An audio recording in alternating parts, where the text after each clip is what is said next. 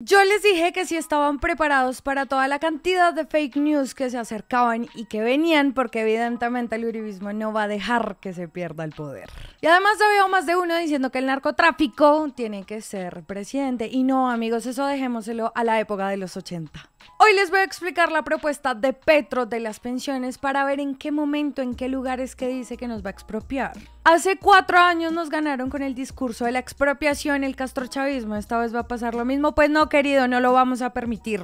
Así que vamos a dar un breve contexto de cómo funcionan los sistemas pensionales en Colombia en la actualidad. Y les aseguro que más de uno no sabe cómo funciona porque ni yo sabía cómo funcionaba. En Colombia existen dos formas de cotizar pensión. El primero de prima media, que aparece en Colpensión, es un fondo público, y la RAIS, que es un fondo privado, por venir y todas las demás. En la prima media, en Colpensiones, funciona de la siguiente manera. Nosotros, los jóvenes de hoy, le pagamos la pensión a los viejitos de hoy. Es decir, es un sistema colectivo. Nosotros pagamos nuestra pensión, la que usted va y paga mes a mes, si es que la paga, porque la mayoría de jóvenes no cotizamos pensión porque creemos que nunca vamos a tener pensión. Y ese dinero que usted está metiendo es la que le llega a los pensionados. Y en el fondo privado lo que pasa es que es un fondo individual donde tú metes ahí tu plata, pero ellos pueden hacer con tu plata lo que quieran. Por ejemplo, la mayoría de ellos invierten en la bolsa de Nueva York acciones. Se supone que de ese recurso que entra porque tú eres una especie de accionista, te dan dividendos. Pero tu plata la usan para crear carreteras, para hacer negocios, o sea, la van moviendo y la verdad es que lo que te dan son migajas. Si yo me muero y estoy cotizando en un fondo público en Colpensiones, ese dinero va a mi esposa, esposo, a mi hijo no mayor de 25 años y mi hijo si tiene un problema de discapacidad.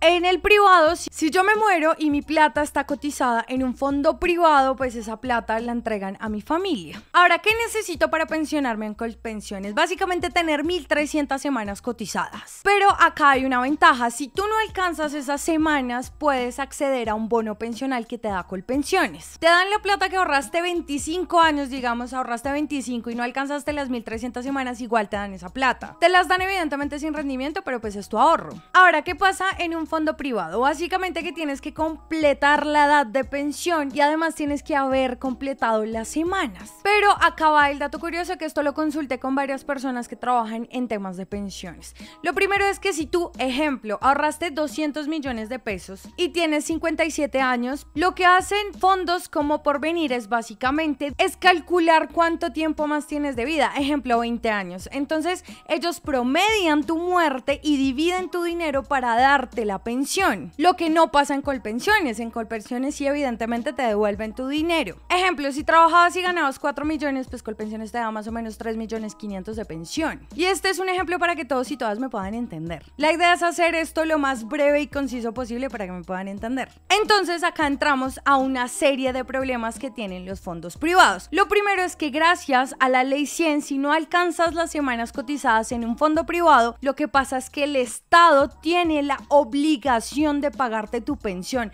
no el fondo privado, el Estado. Aquí nunca pierden los fondos privados, de hecho pierde el Estado. Otra desventaja es que los fondos privados se la pasan usando tu plata los años que le estés cotizando o que estés pagando pensión en un fondo privado. Ellos pueden hacer lo que quieran con esa plata y tú nunca te vas a enterar y además de eso te dan migajas por ese rendimiento del dinero. Les voy a poner un ejemplo para que me entiendan. Yo, Lalis, llevo 10 millones ahorrados en un fondo privado, pero tengo un niño de 10 años y de repente Dios no lo quiera, me muero. Si tú divides eso en 15 años más que tendría que tener mi hijo hasta que cumpla los 25, pues no va a dar un salario mínimo vigente, que es lo que debe ganar una persona para tener una, una vida digna. Así que como los fondos privados no se responsabilizan de eso, el Estado es el que tiene que completarle ese salario mínimo a mi hijo. Es decir, ellos dan esa plata que yo ahorré, pero ellos no le aseguran la pensión que deberían haberle asegurado 15 años más. Otro ejemplo de cómo funcionan los fondos privados con tu dinero. Digamos yo, Lalis, metí mi plata 37 años en un fondo privado. Resulta que con esa plata, no sé, se le prestó a gente en los bancos. Esa gente le cobran una tasa de interés por cada dinero que le presten, así funciona la economía. De esa tasa de interés a mí no me corresponde casi nada porque son migajas, pero ellos sí se hacen ricos con su dinero. O sea, mueven la plata como se les dé la gana.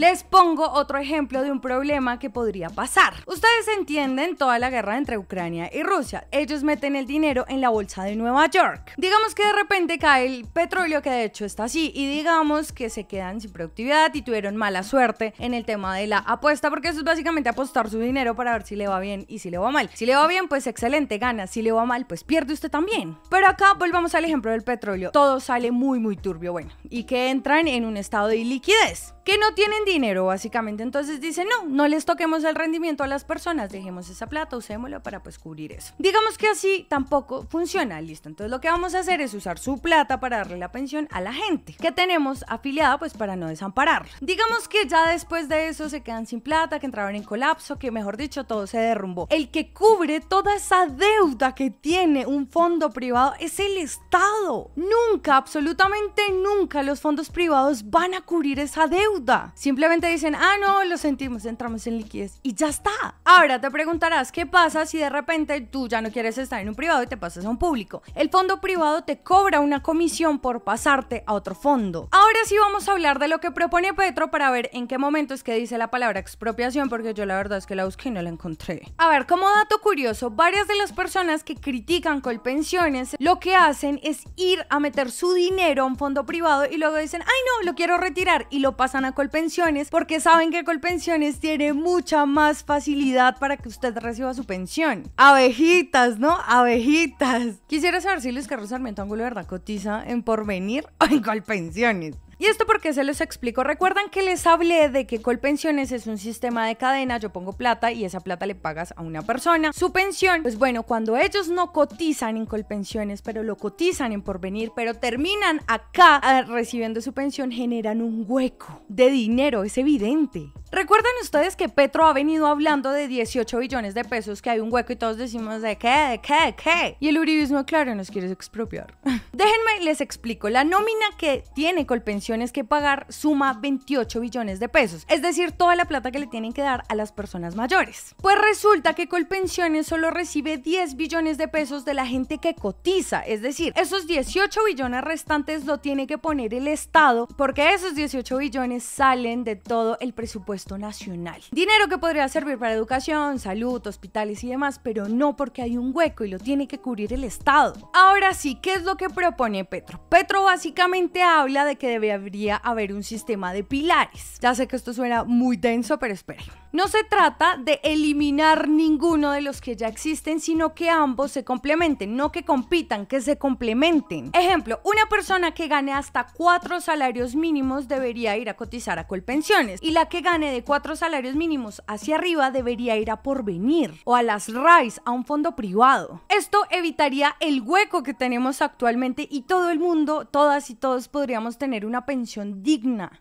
Entonces ahí va cuando les digo que él no quiere que se acabe ninguno de los dos, sino que simplemente se complemente. Ahora, ¿en qué pedazo de todo esto dice exactamente que quiere expropiar? Que a mí no me parece que sea una mala idea. De hecho, todos y todas tendríamos derecho a tener una pensión digna. Nosotros los jóvenes ni cotizamos porque pensamos que nunca vamos a tener una pensión. Ahora, si esto pudiese pasar estaría excelente porque al menos crearían la cultura de que nosotros los jóvenes que no queremos tener hijos podamos ir a cotizar. Bueno, no todos, no habrá gente que quiere tener hijos. Yo mi caso no quiero tener hijos, pero es un caso personal. Esta idea que, que dice Petro no se le inventó él, esto salió del Banco Mundial. Así que no está tan descabellada y tampoco les van a quitar sus ahorros de toda su vida. No sean ridículos, por Dios. Deje de estarle poniendo cuidado a las cadenas de WhatsApp con piolines castrochavistas. Póngase a escuchar lo que proponen los candidatos. Póngase a mirar qué es lo que pasa. No repita el mismo discurso de hace cuatro años porque por usted anda repitiendo eso. A la gente le dio miedo y a la gente terminó peor que en Venezuela. Comparte este video si quiere que más gente deje de repetir lo que dice Ingrid y Fico porque ni siquiera tienen ideas, pero sí se atreven a cuestionar una idea. Todas y todos merecemos una pensión digna. Si esto se puede llevar a cabo, estaría muy bien. Así que gracias por ver este video. Síganme en todas mis redes sociales. Tengo Instagram no, porque el otro me lo cerraron. Twitter, Facebook,